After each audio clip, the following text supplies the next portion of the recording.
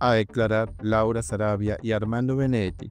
La fiscalía lo citó por audio sobre financiación de la campaña Petro Presidente.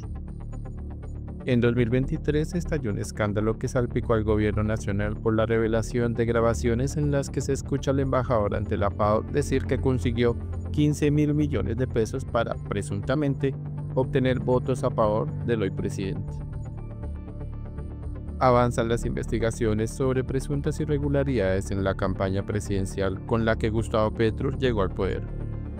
En junio de 2023, el embajador de Colombia ante la Organización de las Naciones Unidas para la Alimentación y la Agricultura FAO, Armando Benedetti, generó polémica por la revelación de audios en los que se le escucha mencionar una inyección millonaria de dinero, presuntamente para favorecer al hoy presidente en el proceso electoral. Entonces empezó una investigación en torno a la campaña del primer mandatario para identificar presuntas inconsistencias en la financiación de la misma. El 9 de junio de 2023, la Fiscalía General de la Nación emitió un comunicado al respecto. El frente investigativo está enfocado a determinar si se cometieron delitos relacionados con la posible financiación ilegal de la campaña electoral del presidente de la República, Gustavo Petro Urrego.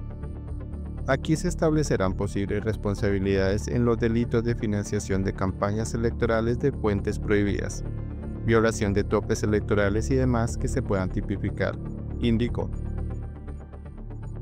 Tras más de un año de pesquisas, la Fiscalía Séptima Delegada ante la Corte Suprema de Justicia decidió citar a declarar a Benedetti, que en 2023 fugía como embajador de Colombia en Venezuela, y a Laura Sarabia, directora del Departamento Administrativo de la Presidencia de la República DAPRE, puesto que también está involucrada en los audios.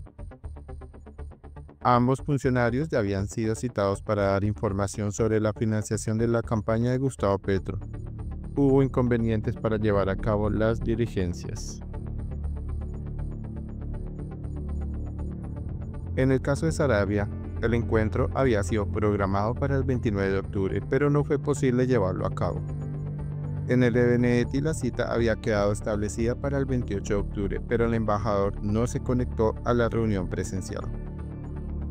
A esto se suma que Benedetti se ha negado a hablar sobre la campaña y la presunta inyección de recursos.